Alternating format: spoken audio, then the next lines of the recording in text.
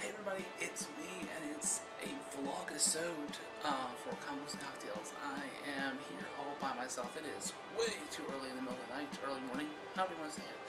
But it's my birthday, so we've got stuff to talk about. We're going to talk about D23. We're going to talk about Comic Con coming up next week. We're going to talk about uh, the new Doctor. Uh, that's going to be controversial. And I'm going to drink and prepare for a whole shit ton of shenanigans. Also, I'm to vote for Anna.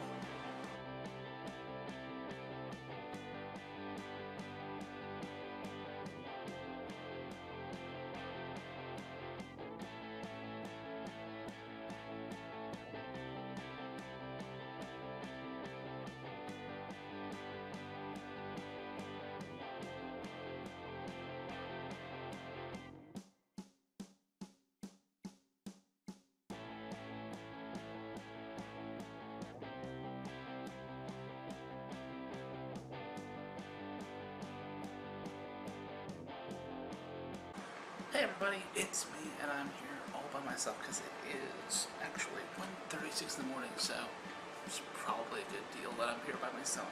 Otherwise, I have a lot to explain. Um, so, because it's after midnight, it is July 19th, which means it's my birthday.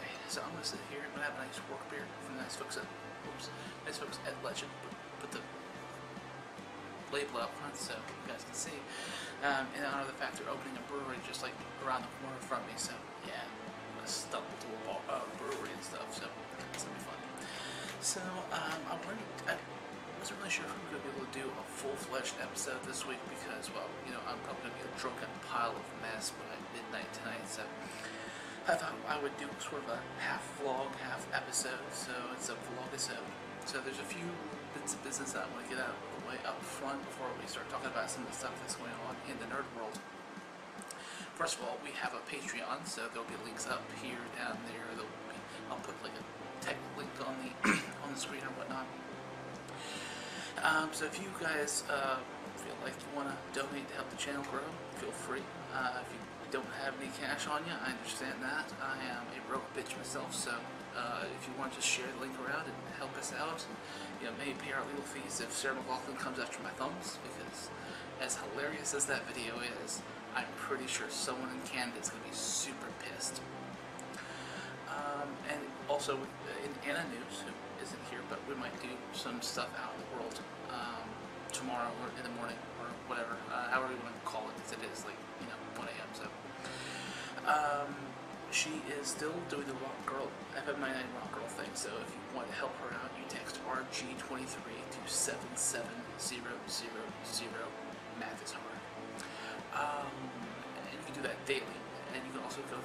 The FM99 website hourly and over there. We'll have links and stuff below and around and, and graphics and shit. Um, we're hoping that she gets in because you know it's going on until the 23rd, so you can do that hourly and daily until July 23rd when we decide who goes on to the next round. And I think she has to go fight seven other girls at a comedy club. I don't know. I don't know how this stuff works, but we would really love to have her uh, be the FM99 rock girl because she deserves nice things. Um, and on top of all that, I guess we'll go into the, the news portion of it. Um, oh, uh, the other thing, there is a Game of Thrones reaction coming. Uh, it's going to be a bear to fucking edit because I had a few things go on.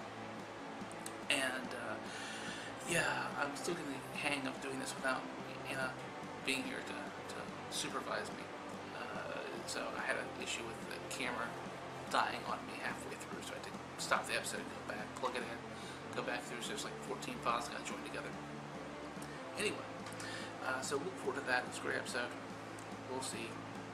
We talk about it at some point with some kind of fancy um, setup over there by the by the alcohol. But uh, in, in the news aspect of it, the D23 thing just happened last week. That's big like it's like Comic Con, but only Disney stuff. And uh, Marvel unleashed the teaser trailer for Avengers: Infinity War. And by all accounts, it's fucking amazing. I, you know, I, a lot of people have talked about it. We'll have links down below if you want to read about it. If you don't, if you want to be surprised, I'm pretty sure that they're probably going to release it online at Comic Con this weekend. Um, but you know, it's easy because it's going to be a big thing. Andre the Black Nerd uh, did a thing about it, so we'll give him a shout out. If you don't follow him, you probably should. Uh, he gets to go all kinds of cool stuff. I hope at some point we're famous enough to get asked to go do cool shit like that. But you know, right now we're still still new. Um, but yeah, it's gonna have like everybody in it. I, they're still being kind of cagey about whether or not the Netflix guys are gonna be in it. Uh, I would say that there, there's really no no reason not to toss them in, at least as an aside. I mean, there's not you can't. Um, you could you could do quick things that would take like a day to shoot. You know, just do a little thing when, when shit's going down in, in Manhattan, like Matt Murdock's looking out his window or something. You know, have the defenders like stopping some kind of ninja shit. Because they, they did say that there's there's going to be I saw um, a friend of mine, Facebook friend of mine, Peter Shin, uh, who uh, I probably murdered his name because I should have looked it up, but screw it. Drinking, birthday, Peter, you know we love you. Um, but he played Nobu on the Daredevil season one and season two, and uh, he had shared a link that said they were looking for hand ninjas and stuff for Avengers Infinity War. So that means that probably there will be some kind of hand uh, connection to it, which would bring the Netflix guys in. Um, which would be cool. I mean, I'd, I'd like to see him come back and fight Thanos with ninjas.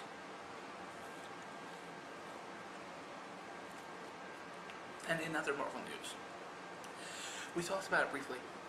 Uh, one of our earlier episodes, which we'll have up there with the annotations and stuff. But uh, the New Warriors show is moving forward on uh, Freeform. The, uh, what do you call it, the ABC Family thing that is now something new. It's like the CW for Disney. And they cast their Squirrel Girl for, if, I need to look this up because this is a terrible name to try to say. Milana Vayntrub, who you would know as the you know hot chick that tries to sell you AT&T cell phones, which we'll have a picture of her because that would always help. Um, so she's gonna be Squirrel Girl. It's good. It's good casting. You know, I, I, she's she's very cute. She's funny. I've seen her at midnight a couple times, and, and she's got kind of real girl next door, good sense of humor kind of thing. So we'll see how that goes. Uh, they they talked a bit about that on Fat on uh, no, no on Hollywood Babble-On. Excuse me, other Kevin Smith show, um, Hollywood Babble-On the other week, and it seems like there's uh, more news is coming about about casting, which means more characters are being. Um, talked about there's going to be Speedball and Night Thrasher and, and uh, I think Silhouette is going to be in it too. And as we talked about in the uh, Cloak and Dagger New Warriors episode, I think it was episode two that we talked about it. Um, I had a little connection to that. Like back in the day when Marvel still liked me, when you know they were still paying me to do shit, um, I had pitched a New Warriors thing out into the world, and it kind of got some traction. Just never went anywhere. Like they it was thought about, it was considered briefly, and then I, you know, as things happen, sometimes you just fall out of favor, and so I just that, that went down the, you know, the road to hell that was paved with good intentions. Um, but I'm I'm a, I'm a big fan of New Warriors. I really hope they do it well. Uh, I know it's going to be a half-hour comedy. I'm not really sure how you can do that with like a, I mean, like unless you want to make like Friends or something, where it's like one, like we, we talked about in that episode, like one overreaching villain for the entire season, and then it's just sort of the wacky adventures of, of this team of, of heroes, which kind of makes it like powerless, I guess. But I don't know. We'll see. I'm, I'm, uh, we've seen the uh, the Cloak and Dagger um, trailer, so we, we know that they're coming at it with uh, uh, a little bit more uh, love than, than, than the guys over Powerless did, where they just said, like, let's just throw whatever character we can find that's not going to be in a real movie into this, this really terrible sitcom. Um, and then uh, there, there's really not much coming on because it is Comic Con next weekend, which you know, I've been to Comic Con. I actually traveled there 2003. Uh, we did a big long road trip with me and like five of my friends, uh, fellow pros and stuff. Uh, we went from South Carolina to San Diego in a van with a dog and more looks that God is in anyone to carry anywhere. It was kind of really cool rock star road trip because we we traveled cross country. Then we camped out for a while, hiked up the Stone Mountains in Arizona. We, you know, pulled over, almost almost got to see a Doors cover band in Vegas. We were like not making good time at that point, so we had to kind of skip that and go straight to, to California. Um, because I'm sitting here in front of my uh, my action figure shelf here in Virginia, it, it goes to show you I'm not going to be there this year. Probably not to make a trip back. I, you know, there's nothing really against it. It's just it doesn't feel like a Comic Con anymore. It feels more like a pop culture Hollywood convention. And you know, I deal with those guys on a daily basis, so I really, you know, don't need to travel and spend a shit ton of money going to the West Coast to deal with them in person. Um, so I, you know, I, I, for me, like some of the best shows around, like like Heroes Con, Dragon Con, that's a amazing shows. Like I saw making more of the nerd set like after midnight. Holy shit, fantastic! Lots of lots of alcohol flowing, lots of really hot chicks dressed as Slave Leia wandering around the con floor. It is uh, just a fantastic uh, four-day experience. So if you're ever in Atlanta on Labor Day weekend, you should totally check out Dragon Con. I'm gonna try to go. We'll see what happens. Uh, depends on that Patreon. Let's let's see how it goes. Um, oh, there there was there's one more thing, uh, which is gonna be the controversial thing, and I hope, hope probably shouldn't have put, probably shouldn't end it on this one, but uh, we do have a new Doctor Who. Um, it is the uh, the girl from Broadchurch. Hang on, let me look that up real quick. Jodie Whittaker. Jodie Whittaker from, from Broadchurch will be the uh, new Doctor Who, or, or the new Doctor in Doctor Who. Um, you know, I, I, I was, you know, I'm, I'm, I'm one of those people that I, I always kind of like buckle at whoever the new doc- Doctor is until like, like four or five episodes into the season. Because you know you, you kind of grow attached to your doctor, whoever it is at the time. I mean, my, my original doctor was Tom Baker, so I, I love I love the asshole doctors. I like people who are you know kind of like they're the smartest person in the room and, and just kind of like run shit. Um, I know there's a lot of stuff going on about being a girl doctor, female doctor, what do you want to say? And I don't think it's necessarily for me. It's, it's not a, a big deal for, for that aspect. I do think that they probably should have picked like Dawn French or somebody, somebody who has a little bit more, you know, gravitas doing these kinds of BBC uh, series. Like you know, she did Vicar Dibley, French and Saunders, that kind of stuff. Really tremendously funny, um, funny lady. And uh, you know, you would think it might be even a little bit more of a. Uh, uh, equality type of thing to cast a cast a, a female of a certain age uh, rather than a young pretty girl that was that was in something recent. Because you know Peter Capaldi like he's, he's an old gentleman it would be kind of neat to see him go if he's going to go the female route maybe regenerate into an older female. And, and if they want to do that they could progressively regenerate him into younger people or the doctor's character into younger people as they go along. Um, but there's a big stuff about it being like, oh, it's the first female Time Lord. It's really not. I mean, there's a whole planet of Gallifrey. There was, there was men and women.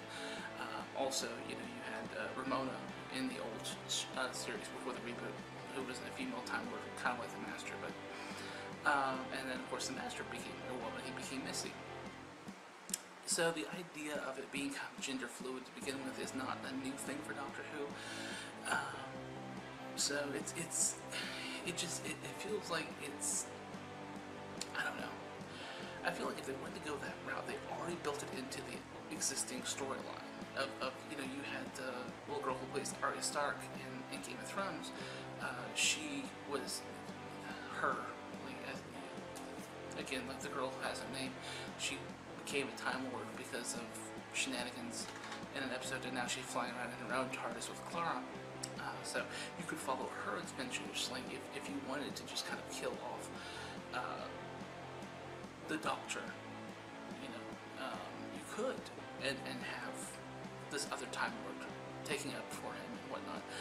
Um, there are a lot of routes you could go, and I, I don't know. I mean, I'll, reserve judgment. It'll depend uh, again on the campaigns and how things work, how the writing works. The last couple seasons were not great, which sucks because I really like Capaldi. I really think he's a really good asshole doctor. Uh, but I'm sorry to see him go. I'm sorry to see him not really get any really meaty episodes.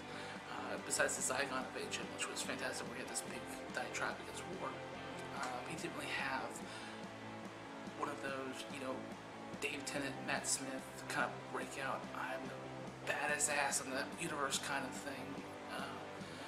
Save the world on a regular basis without breaking a sweat to kind of kind of dealies.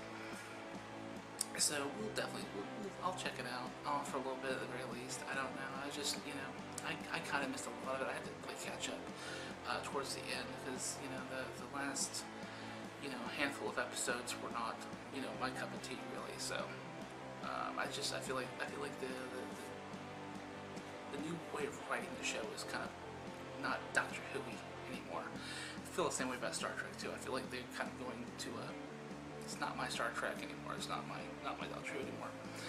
Uh, but you know things change. You know new audiences come in. New audiences want different things.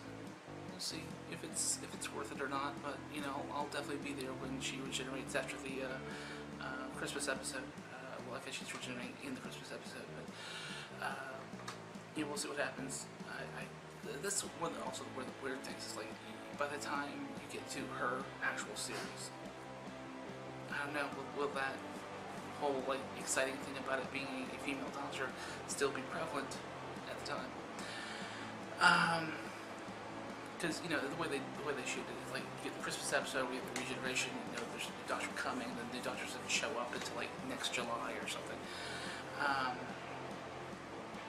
so I don't know. BBC is weird about that. So we'll, we'll see. We'll definitely see.